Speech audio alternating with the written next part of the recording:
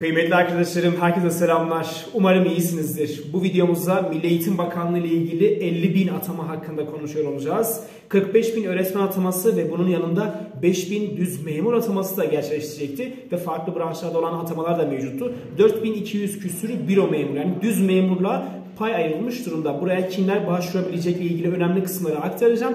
Bundan sonraki videomda ise doğru tercih nasıl yapılır veya bizler nereyi tercih edersek daha iyi olur, puanlar kaça düşebilir gibi önemli tüm kısımlara değinmiş olacağız. Lütfen sizler de diğer tüm atamadan ve memur alımlarından haberdar olmak için kanala abone olmayı ve tüm bu emeklere karşılık videoyu beğenmeyi ihmal etmeyiz arkadaşlar.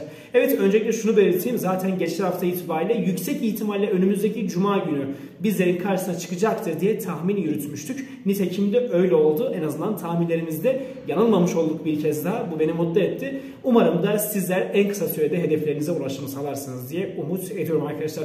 Tabi bugün itibariyle yani bu videomuzda aktaracağım bilgiler kimler nereye başvurabilir, hangi illerde tercihler açılmış veya bunların haricinde diğer önemli kısımlarda sizlere aktarmaya devam edeceğiz. Lütfen demiş olduğum gibi tüm süreçten haberdar olmak için bildirimleri aktif hale getirmeyi ihmal etmeyin. Milli Eğitim Bakanlığı'ndaki öğretmen atamasını da ayrı bir videoda çekmiş olacağım. Bilginiz olsun. Evet kıymetli arkadaşlar zaten ben bu linki yorum kısmına sabitledim. Rahat bir şekilde tüm verilere ulaşım sağlayacağınızı belirtmek istiyorum bilginize. Bunun haricinde 2023'e 4 merkezi atama şeklinde atama olacaktır. Mülakat olmayacaktır. Sizler tercihlerinizi sunmuş olacaksınız. 30 farklı tercihinizi yapmış olacaksınız arkadaşlar.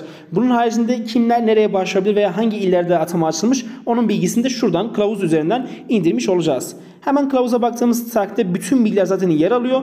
Buraya kimler başvurabilecekle ilgili önemli kısımlara biraz değinelim. Çünkü ilk defa gören arkadaşlarım için de şöyle bir tekrar etmiş olalım. Zaten ben Instagram'da, Telegram'da veya işte diğer web sitemiz üzerinden bütün bilgileri aktarmıştım. Şimdi tekrar edecek olursak da 4001 herhangi bir lisans mezunu fark etmiyor. Herhangi bir lisans mezunu başvurusunu yapabilecektir. 4200 küsür farklı yeni atamalar mevcut arkadaşlar. Farklı illere birazdan onu da söyleyeceğim sizlere. Hukuk lisans mezunları, hemşirelik veya elektrik mühendisi, makine mühendisi, inşaat mühendisi ve diyetisyen ataması mevcut olacaktır. Sadece bir tanesinde özel koşul var. Avukatlıkta. Sizlerin ruhsatlı olması lazım. Onun dışında herhangi birinde özel şart yoktur. Direkt mezunsanız başvurularınızı yapmış olacaksınız. Şimdi ben nereye başvursam daha iyi olur gibi önemli kısma değinecek olursak da sizin kendi mesela örnek veriyorum makine mühendisliğinden mezunsundur.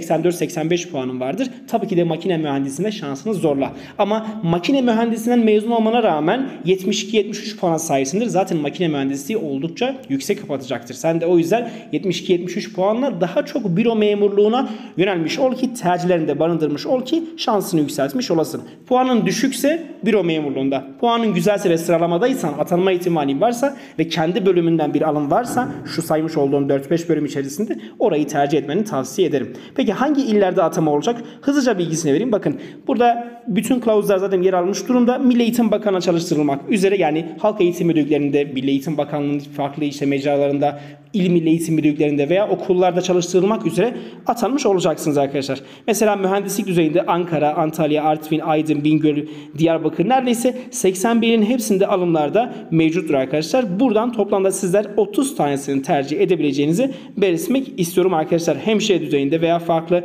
branş alımları düzeyinde, diyetisyen alımları düzeyinde alımlarda mevcuttur. Bizim için aslında birçok kişinin de başvurabileceği büro memurlarından biraz konuşalım. Bakın neredeyse her ilde biraz daha e, deprem bölgesine yoğunlaştırılmış ama sadece deprem bölgesi değil, deprem bölgesi dışında farklı yerlerde de alımlar mevcuttur. Mesela Çan Çanakkale, Çankırı, Çorum, e, Denizli, Diyarbakır, Erzurum, Eskişehir, Gaziantep, Gümüşhane, Hakkari, Kastamonu. Yani neredeyse 81 ilin tümünde de dağılımlar mevcuttur sevgili arkadaşlarım. Buralara başvurunuzu yapmış olacaksınız. Kontenjan sayısı veya işte nereye ne kadar atama olacakla ilgili bütün bilgileri de buradan da erişim sağlayabileceksiniz. Bizler elimizden geldiğince tüm kısımları detaylı bir şekilde anlatmaya devam edeceğiz. Lütfen acele etmeyin. Daha yeni başladı. Önümüzdeki süreçte tercihler konusunda, doğru tercihler konusunda detaylıca bilgi vermiş olacağım sizlere arkadaşlar. Umarım hakkınızda hayırlısı olur ve kısa süre içerisinde hedefinize ulaşım sağlarsınız diye umut ediyorum. Ama ön lisansın pay ayırmamış olması onlar için üzüldüm tabii ki ama lütfen pes etmeyin. Önümüzdeki dönemde ön lisansla ilgili birçok alım daha olacaktır bilginize. Şu an için kendinize iyi bakın. Bir dahaki videomuza görüşmek üzere. Hoşçakalın.